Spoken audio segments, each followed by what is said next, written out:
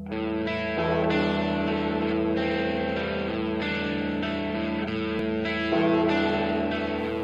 this is Alex. Um, as you know, I buy lots of locks off of eBay, often in lots. So you get a whole box of locks, and you never may never know what you're going to get exactly.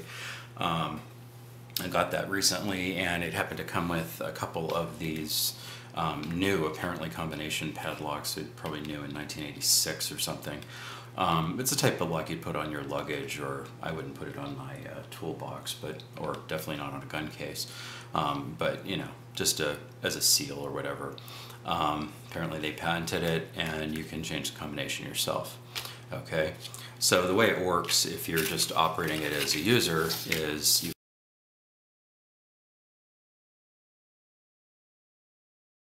So, you know, we've all seen how to sort of bypass these locks. Um, I spent a little bit of time with it and couldn't quite get it, uh, which was a little embarrassing. I'm sure if I spent some more time I would have gotten it, but I was impatient and I had two of them. So I decided to, um, to go um, a little medieval on it and, um, and take one apart. All right, so what we see here, um, there is a spring missing. There would be a little, um, uh, a little sort of angle spring that would bias the, the uh, shackle outward. Um, that went flying across the room and I haven't managed to find it, so we'll ignore that for now. There are these little, um, these little coil springs that sit down on these pins and spring bias um, this little C-shaped thing um, towards the bottom in this case. Okay, so as with many of these things, the way it works, put the, put the shackle back in, is that you go in and you dial your combination in to whatever it is. I have no idea what it is on this lock at this point because I've been fiddling with it. It may not even be on whole numbers. Um, but you would get your combination dialed in that aligns all those little C's, in this case facing to the 9 o'clock position.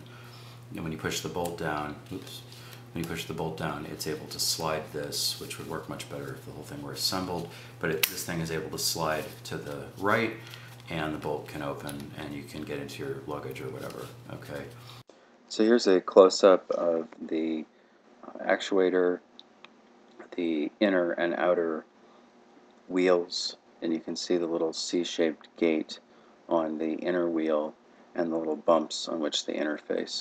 In this photograph, I've inverted the inner wheel so you can see the back of it um, and the little tines that interact with the bumps on the outer wheel.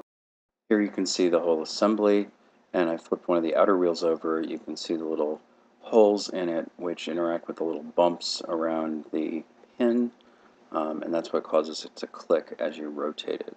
And just a quick shot of all the parts with a scale so you can see how big they are. And so the way, when I changed the combination, I was holding the bolt back, which pins this wheel, the center wheel in place, and then it's able to stay in place while the outer wheel rotates and then you can set the new combination. Um, what I want to do is I want to find that gate and the problem I was having is I was trying from the sides and a bunch of different places and I hadn't really tried hard enough to come up at the at the bolt. I didn't know exactly how this worked. I was figuring it uh, slid up, but um, or did something else. Um, but what we're trying to do is basically get our shim in like this. Let's see if I can get it at this angle. I can't, so I have to turn it a little bit like this. And we're trying to get our shim in, and this would be held down by a spring. Um, and we're trying to get it wedged in kind of like that and feel that, that little C there. And just to give you a close-up of the probe, it's made from a piece of um, 5 thousandths sheet metal. Um, it's trimmed to the shape I like uh, with a little bit of light sanding to relieve the edges and make the tip a little bit thinner. And it turns out that if you, the gate is aligned to the 6 o'clock position in this orientation, that it is two clicks, two numbers um, clockwise um, to um, locate the or to locate the gate appropriately for the for the uh, actuator to be able to move. Okay, so I'll just give a quick demo of that on one of these wheels. So we set on one of the wheels on this lock. So we set this to 701. Okay, so I'm just going to scramble um, the first wheel um, a little bit. Okay, so now I'm going to take my probe. I'm going to stick it up in here and try to get up and around the um, to the to the so that I'm touching that top ring and I don't feel anything here. Okay, so I'm gonna advance it one click and I'm still not quite feeling anything. I'm just gonna keep spinning this around because it bends a little bit. Might have something over on the side there, not sure yet. Um, come around, probe, probe, probe. Got nothing. Probe, probe, probe. Nothing. Let's just make sure I'm able to It's good. Okay. Uh, now I'm feeling. I think. I think I'm feeling the corner or something there. Not positive, but let's just uh, let's check that. Ah, no, I'm definitely feeling something now, and I can feel. I was feeling it. Get my angle off, but actually now I'm in quite a lot further, and you can see that it's not sliding back and forth now. So I, I can feel the gate there. So that's the equivalent of the little disc being there. So my shim is sliding down and hitting inside there. So now if I come one more to this direction, I can get into the gate, okay? Now I know that I've only fiddled with this wheel, right? But without even looking at it, I could note the number down, but without even looking at it, I know that if I move it two clicks to the left or clockwise, so one, I have managed to break it. And I just demonstrated the other problem with this lock. So, so um, I found the gate and I managed to change the combination simultaneously. So, um, what happened is that, and I was going to do these as two separate parts, but why not? Um, and I'll do it again, is that when I got up in here at some point along the way, I separated the two discs, okay? I separated the inner and outer disc. And I was able to um, move the inner disc, or the outer disc rather, without um, advancing the center disc. And hopefully I've managed to do it one more time.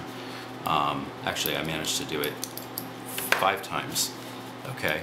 Now it does not depend on you being on the correct number, so let me put it, I'll put that to zero, just to prove that I can do it from, from an arbitrary location. So I've got that wedged in there pretty good.